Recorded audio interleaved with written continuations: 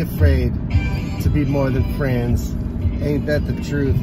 Look, something's been on my heart a lot lately, and behind the scenes in my life, have a lot going on, and I'm excited. And something is calling me to go to Guatemala and build a school.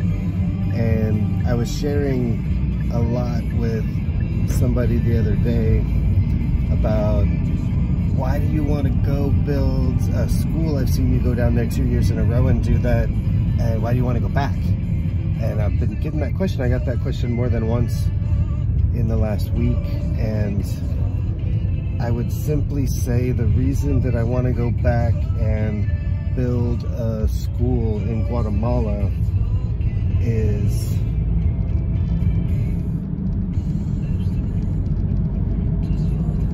reason I want to go back is uh, fulfillment and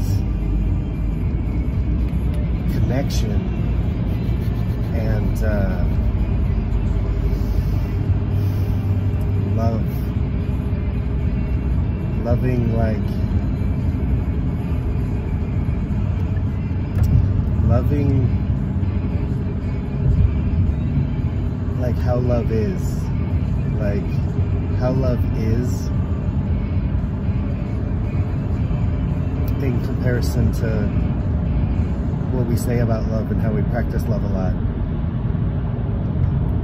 the trip to Guatemala to build a school out of recycled materials stuffed in plastic bottles